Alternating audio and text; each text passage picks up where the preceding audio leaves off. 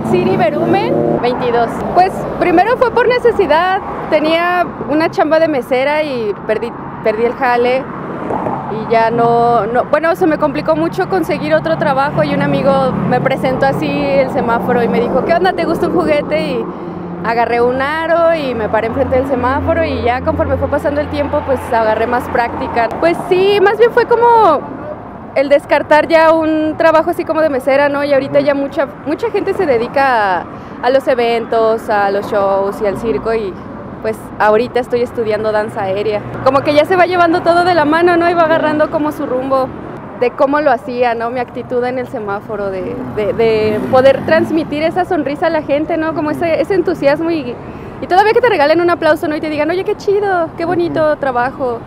Y pues ahí fue como la motivación de ir creando más cosas, ¿no? Ir jugando con uno, dos, tres, hasta cuatro. Uh, no sé, los pases de malabar o el multi-hoop. Y pues el hooping es como con un solo aro, uh -huh, la manipulación de un aro.